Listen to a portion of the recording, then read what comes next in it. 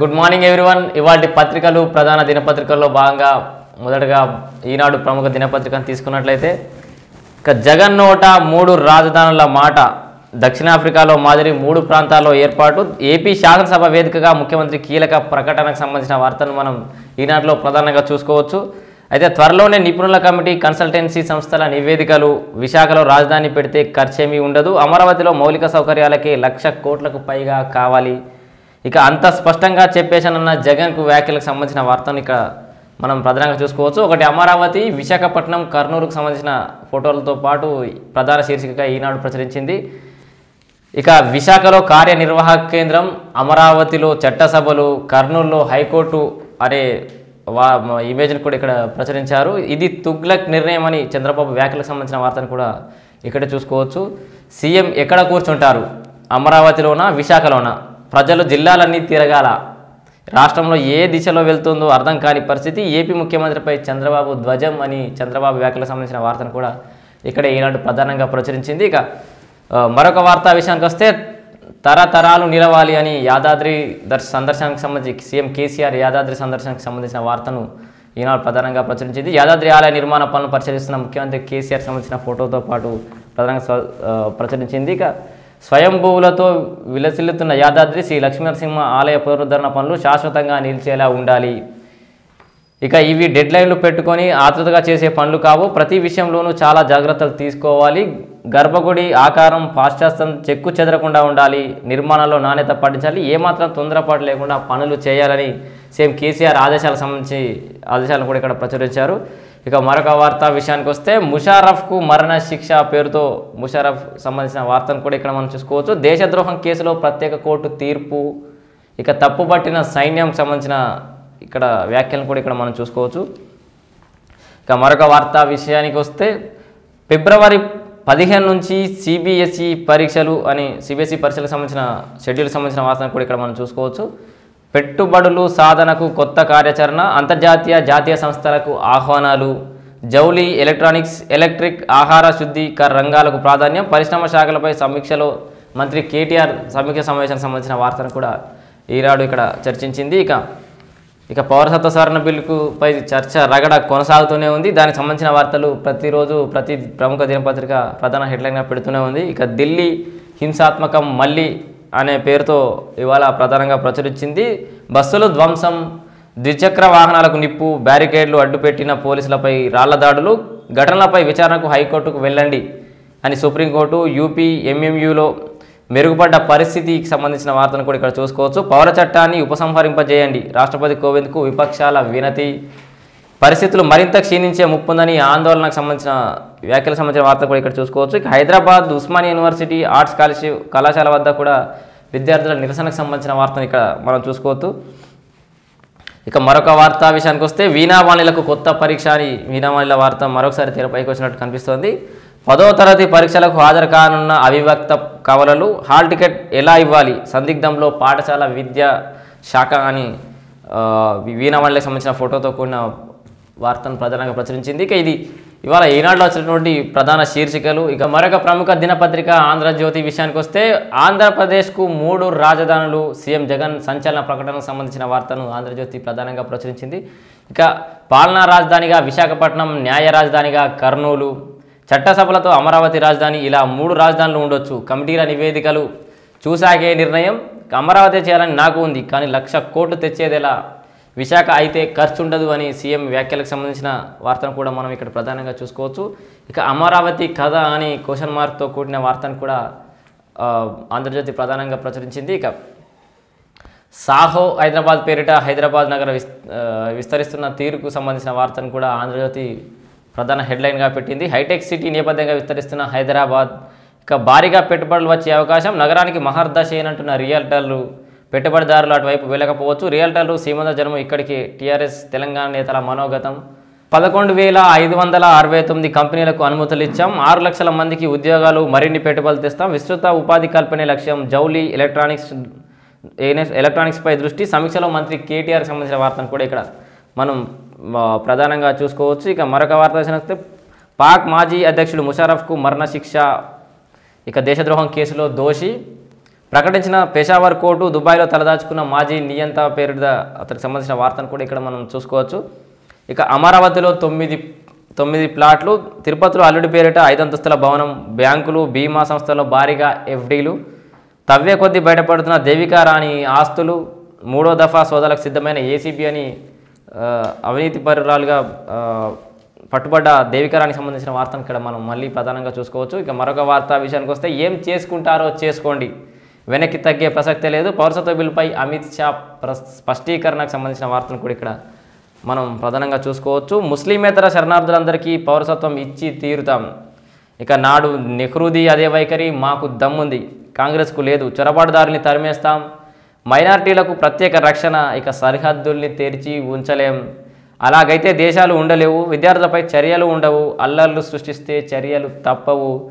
ఆరు వందల మంది ముస్లింలకు పౌరసత్వం ఇచ్చామని హోంమంత్రి అమిత్ షాకు సంబంధించిన వార్త వ్యాఖ్యలకు సంబంధించిన వార్తను కూడా ఇక్కడ మనం ప్రధానంగా చూసుకోవచ్చు. ఇక పాకిస్తానీలందరికీ పౌరసత్వం ఇస్తారా అని మోడీ వ్యాఖ్యలకు సంబంధించిన వార్తను కూడా ఇక్కడ మనం ప్రధానంగా చూసుకోవచ్చు. ఆర్టికల్ త్రీ సెవెంటీని మళ్ళీ తేగలరా? దమ్ముంటే బాహాటంగా చెప్పండి. కాంగ్రెస్కు మోదీ సవాల్ పౌరసత్వ చట్టంతో భారత ముస్లింకు హాని జరగదు అని హామీ ఇస్తున్నటువంటి వ్యాఖ్యలను కూడా మనం ఇక్కడ ప్రధానంగా చూసుకోవచ్చు. ఇక ఇక సీఎం కేసీఆర్ యాదాద్రి పర్యటనకు సంబంధించిన వార్తను కూడా ఆంధ్రజ్యోతి ప్రధానంగా ప్రచురించింది. గర్భగుడి ఆకారం ప్రాశస్త్యం దెబ్బతినొద్దు ప్రతి నిర్మాణం ఆగమ నియమాల ప్రకారం జరగాల్సిందే. యాదాద్రి సృష్టి యాదాద్రి నృసింహుడి ఆలయం సనాతనమైనది. ఇక్కడ పూజలు ఎందరికో వారసత్వ సంప్రదాయం. శాశ్వతంగా ఉండే నిర్మాణాలకు గడువు ఉండదు. ఇక అన్ని పనులు సంపూర్ణంగా పూర్తి చేసి చెప్పండి. చిరంజీఆర్ స్వామితో కలిసి వచ్చి పరిశీలిస్తాను. ఆ తర్వే ఆ తర్వాతే ఉద్ఘాటన. సుదర్శన యాగంపై నిర్ణయం. స్థపతులు అధికారులతో సీఎం కేసీఆర్ వ్యాఖ్యలు ఆరున్నర గంటల పాటు క్షుణ్ణంగా పరిశీలించిన సీఎం కేసీఆర్ అని ఇక్కడ ఆంధ్రజ్యోతి ప్రధానంగా ప్రచురించింది. ఇక మరొక వార్త విషయానికి వస్తే చీర్స్ చీ చీ రాష్ట్రంలో మందు పట్ ముట్టని నాలుగు వందల పల్లెలు అనే వార్తను కూడా ఇక్కడ మనం ఇంట్రెస్టింగ్ వార్తను ఇక్కడ చూసుకోవచ్చు. మద్యం నిషేధంపై స్వచ్ఛందంగా ముందుకు గ్రామ సభల్లో తీర్మానాలు పక్కాగా అమలు. ఉల్లంఘిస్తే జరిమానాలని చాటింపులు ఆసిఫాబాద్ జిల్లాలో రెండు వందల యాభై గ్రామాల్లో నిషేధమని మద్యం నిషేధానికి సంబంధించిన వార్తను కూడా ఇక్కడ ప్రధానంగా హైలైట్ చేసింది. ఇక మెక్కిన మక్కల విలువ మూడు వందల కోట్లు ఎనభై లక్షల క్వింటాల మొక్కజొన్నల కేటాయింపుల్లో భారీగా అక్రమాలు పేరిత మొక్కజొన్నల అక్రమానికి సంబంధించిన వార్తను కూడా ఇక్కడ మనం చూసుకోవచ్చు. ఫెడరేషన్ అధ్యక్షుడు కమిటీదే కీలక పాత్ర. సిసిఎస్ డీసీపీకి పౌల్ట్రీ రైతుల ఫిర్యాదు. ఆర్టీఐ ద్వారా వివరణల సేకరణ పౌల్ట్రీ బ్రీడర్స్ సంఘం నేతలపై పిల్ ఇక స్కామ్ను వెలుగులోకి తెచ్చింది ఆంధ్రజ్యోతి అని ఆంధ్రజ్యోతి కూడా ప్రధానంగా ప్రచురించుకుంది. ఇక టీఎస్పిఎస్సికి ఐదేళ్ళు అనే వార్తను కూడా ఇక్కడ చూసుకోవచ్చు. తక్కువ కాలంలోనే ఎక్కువ ఘనతలు సమూలంగా సంస్కరణలు అమలు సాంకేతిక పరిజ్ఞానంతో సమస్యలకు చెక్. ఇక కమిషన్ ద్వారా ముప్పై వేల భర్తీలు ఒక్క అవినీతి ఆరోపణ రాలేదు. ఇంటర్వ్యూలోను కొత్త విధానం కంప్యూటర్ ద్వారా బోర్డుల ఎంపిక ఇతర కమిషన్లకు మార్గదర్శి అని టీఎస్పీఎస్సీ చైర్మన్ కార్యదర్శి గంటా చక్రపాణి వాణిప్రసాదాలకు సంబంధించిన వ్యాఖ్యలు ఇక్కడ మనం ప్రధానంగా చూసుకోవచ్చు. ఇక గంటా పదవి కాలం పొడగింపు అనే వార్తను కూడా ఇక్కడ మనం చూసుకోవచ్చు. ఇక ఇది ఇవాళ ఆంధ్రజ్యోతిలో వచ్చినటువంటి ప్రధాన శీర్షికలు. ఇక మరొక ప్రముఖ దినపత్రిక సాక్షి తీసుకున్నట్టయితే ఇక అన్ని దినపత్రికల్లోనూ ఈ ఆంధ్రప్రదేశ్ సంబంధించిన మూడు రాజధాని మూడు రాజధానుల ప్రకటనకు సంబంధించిన వార్తని హైలైట్గా చేశాయి. ఇక సాక్షి కూడా ఆంధ్రప్రదేశ్కు మూడు రాజధానులు పేరిట ప్రధాన శీర్షికగా ప్రచురించింది. చట్టసభల రాజధాని అమరావతి సచివాలయ కార్యనిర్వహణ రాజధాని విశాఖ హైకోర్టు న్యాయ రాజధాని కర్నూలు పేరిట క్షుణ్ణంగా చాలా డెప్త్గానే ప్రచురించింది. ఏడు నుంచి పది రోజుల్లో నిపుణుల కమిటీ నివేదికన నివేదిక ఆ తర్వాత ఉత్తమ నిర్ణయం దక్షిణాఫ్రికా లాంటి దేశాల్లో మూడు రాజధానులు ఉన్నాయి చంద్రబాబు లెక్కల ప్రకారం రాజధానికి ఒకటి పాయింట్ సున్నా ఆరు లక్షల కోట్లు కావాలి. ఆయన ఐదేళ్ళలో అప్పు తెచ్చి ఖర్చు చేసింది కేవలం ఐదు వేల ఎనిమిది వందల కోట్లు మాత్రమే. మిగతా రూ లక్ష కోట్లు ఎక్కడ నుంచి తేవాలి? ఈ డబ్బు కేవలం మౌలిక సదుపాయాలకు మాత్రమే అని. ఇక సాగు తాగునీరు స్కూళ్ళు ఆసుపత్రులు మిగతా పనుల మాటేంటి?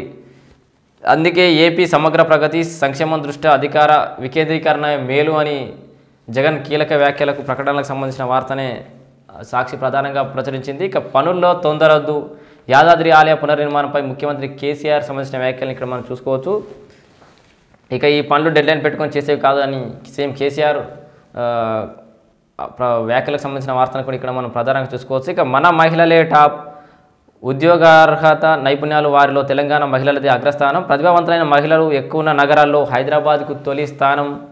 ఇక ఉద్యోగ అవకాశాలు ఎక్కువగా ఉన్న రాష్ట్రాల్లో ఆరో స్థానంలో Telangana India skill report two thousand ట్వంటీలో వెల్లడించినటువంటి సర్వే విషయాలను కూడా ఇక్కడ సాక్షి ప్రధానంగా ప్రచురించింది. ఇక మరొక వార్తా విషయానికి వస్తే నిర్భయ కేసులో మరో మలుపు నిర్భయ అత్యాచారం హత్య కేసులో దోషి అక్షయ్ కుమార్ సింగ్ తనకు విధించిన మరణశిక్షపై సుప్రీంకోర్టులో వేసిన రివ్యూ పిటిషన్ విచారణ నుంచి భారత ప్రధాన న్యాయమూర్తి జస్టిస్ ఎస్ఏ బాబ్డే తప్పుకున్నారు అని ఒక కీలక వార్తను కూడా ఇక్కడ మనం చూసుకోవచ్చు. ఇక మరొక వార్త విషయానికి వస్తే ముషారఫ్కు మరణశిక్ష పేరిట వార్తను ఇక్కడ ప్రచురించింది. రాజ్యాంగాన్ని తాత్కాలికంగా రద్దు చేసి సైనిక పాలన విధించి తీవ్ర దేశద్రోహానికి పాల్పడ్డాడన్న ఆరోపణలపై పాకిస్తాన్ మాజీ సైనికాధ్యక్షుడు పర్వేజ్ ముషారఫ్కు పాకిస్తాన్ ప్రత్యేక కోర్టు మరణశిక్ష విధించింది అనే వార్తను కూడా ఇక్కడ మనం చూసుకోవచ్చు. ఇక మరొక వార్త విషయానికి వస్తే రణరంగంగా ఈశాన్య ఢిల్లీ పౌరసత్వ చట్టానికి వ్యతిరేకంగా సీలంపూర్లో భారీ ర్యాలీ.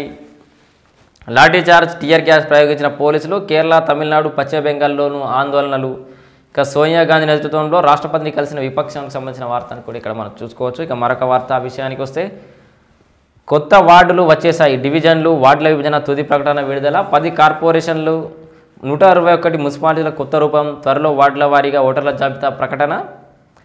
ఆ వెంటనే రిజర్వేషన్ల ఖరారు ప్రక్రియ శ్రీకారం. జనవరిలో మున్సిపల్స్కు చక్కచక్క ఏర్పాట్లు అనే వార్తను కూడా ఇక్కడ మనం చూసుకోవచ్చు. ఇక మార్గదర్శి కేసు హైకోర్టు తీర్పుపై అప్పీల్. సుప్రీంకోర్టులో మాజీ MP Undavalli special leave petition. ఈ కేసులో రెండు రాష్ట్రాల ప్రభుత్వాలు భాగస్వాములు చేయాలని విజ్ఞప్తికి సంబంధించిన వార్తను కూడా ఇక్కడ మనం ప్రధానంగా చూసుకోవచ్చు. ఇక ఇవి ఇవాళ సాక్షిలో వచ్చినటువంటి ప్రధాన శీర్షికలు. మరొక ప్రముఖ దినపత్రిక నమస్తే తెలంగాణ తీసుకున్నట్లయితే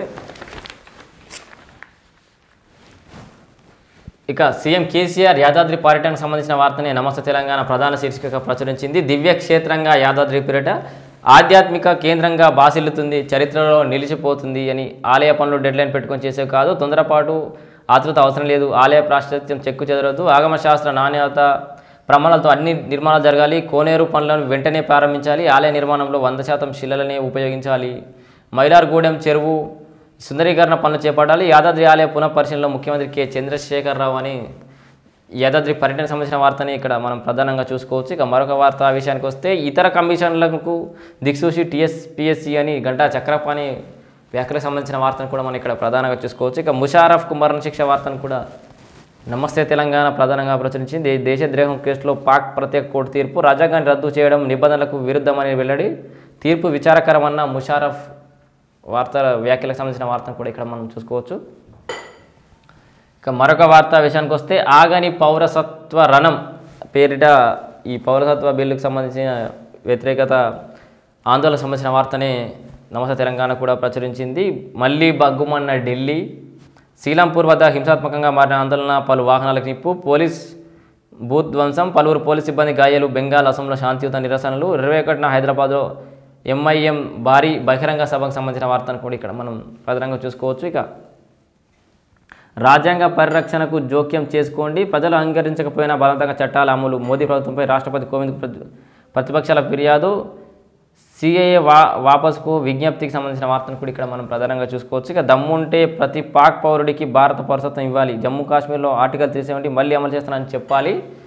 కాంగ్రెస్కు ప్రధాని మోదీ సవాల్ ముస్లిమేతర శరణార్థులకు పౌరసత్వం ఇచ్చి తీరుతామని అమిత్ షా వ్యాఖ్యలకు సంబంధించిన వార్తను కూడా ఇక్కడ మనం ప్రధానంగా చూసుకోవచ్చు. ఇక మరొక వార్తా విషయానికి వస్తే ఒకటి కాదు తొమ్మిది హత్యలు. దిశ హంతకుల దారుణ మారణకాండ. హైవేల పక్కనే అన్ని హత్యలు నేరాలన్నీ ఒకే తరహాలో. దిశ కేసు దర్యాప్తులో వెలుగు చూస్తున్న కొత్త కోణాలు పేరిట మరొక ఇంట్రెస్టింగ్ టాపిక్ కూడా ఇక్కడ మస్త తెలంగాణ డిస్కస్ చేసింది. నిందితుల డిఎన్ఏతో మిస్టరీ ఛేదించే ప్రయత్నం అనే వార్తను కూడా ఇక్కడ మనం చూసుకోవచ్చు. ఇక ఉపాధి కల్పన లక్ష్యంగా పెట్టుబడులని మంత్రి కేటీఆర్ సమీక్షకు సంబంధించిన వార్తను కూడా ఇక్కడ నమస్తే తెలంగాణ ప్రధానంగా ప్రచురించింది. రాష్ట్రానికి మరిన్ని పరిశ్రమలు తెచ్చేందుకు యత్నాలు టీఎస్ ఐపాస్ ద్వారా పదకొండు వేల ఐదు వందల అరవై తొమ్మిది కంపెనీలకు అనుమతులు ఇచ్చామని ఇక సుమారు ఆరు లక్షల మందికి ఉపాధి అవకాశాలు టెక్స్టైల్స్ ఎలక్ట్రానిక్స్ ఫుడ్ ప్రాసెసింగ్ రంగాలపై ప్రత్యేక దృష్టి అనే వ్యాఖ్యలకు సంబంధించిన వార్తను కూడా ఇక్కడ మనం ప్రధానంగా చూసుకోవచ్చు. ఇక మరొక వార్తా విషయానికి వస్తే ఏపీకి రాజధానులు మూడు అధికారం అభివృద్ధి వికేంద్రీకరణ అభిమతం అసెంబ్లీలో కీలక ప్రకటన చేసిన ఏపీ సీఎం జగన్మోహన్ రెడ్డి అనే వ్యాఖ్యలను కూడా ఇక్కడ మనం ప్రధానంగా చూసుకోవచ్చు. ఇక మరొక వార్తా విషయానికి వస్తే ఎన్కౌంటర్ సీఎం అబ్దుక్ చైతర్ యూపీలో యోగి ఆదిత్యనాథ్ సర్కార్ తోకో పాలసీ అనే హెడ్లైన్తో కూడిన వార్తను కూడా మనం ఇక్కడ చూసుకోవచ్చు. గత రెండేళ్ళ కాలంలో మూడు వేల ఎనిమిది వందల తొంభై ఆరు ఎన్కౌంటర్లు డెబ్బై ఆరు మంది నిందితుల హతం పేరిట అక్కడ జరిగిన ఎన్కౌంటర్లతో కూడిన లెక్కలతో కూడిన వార్తను కూడా నమస్తే తెలంగాణ ప్రధానంగా ప్రచురించింది. ఇక ఇవి ఇవాళ అన్ని ప్రముఖ దినపత్రికల్లో వచ్చినటువంటి ప్రధాన శీర్షికలు. మరిన్ని ప్రధాన శీర్షికలు మరిన్ని వార్తల సమాహారంతో మళ్ళీ మీ ముందుకు వస్తాం. Stay tuned TS twenty four news ఆత్మగౌరవ ప్రతీక మీ రమేష్ పోతరాజు.